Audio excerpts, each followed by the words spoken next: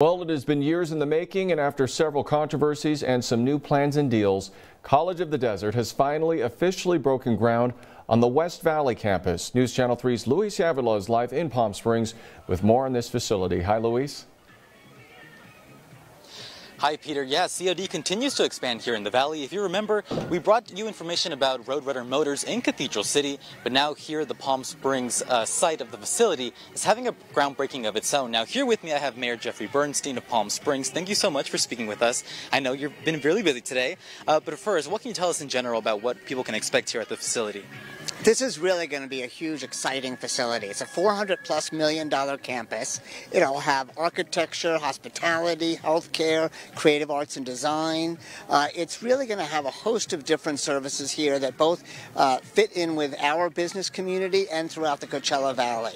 Yeah, and speaking about that, you know, Palm Springs tourism, hospitality, it fits right in here to the city. So what does this mean really for, you know, residents and students here? Well, it's great because we have the employers here and they're looking for having a, a trained workforce and trained uh, team here, and now we're actually going to be training them ourselves. Uh, and what's amazing is this is right across the street from our high school.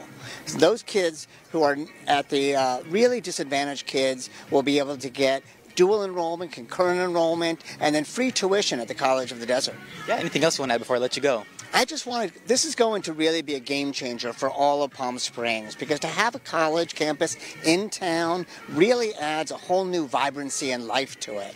Um, and I think this is going to be more than just a community college. They plan to open with two bachelor's programs, and that instantly makes it really a destination college. All right, thank you so much, Mayor Jeffrey Bernstein of Palm Springs. Now, the the facility is expected to open in 2027 with construction beginning this winter. So stay with News Channel 3 for that. And we'll have more information at 5 more about the facility and how this will benefit the community live in Palm Springs. Luis Avila, News Channel 3.